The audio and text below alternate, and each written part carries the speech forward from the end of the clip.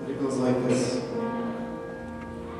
Sometimes I feel discouraged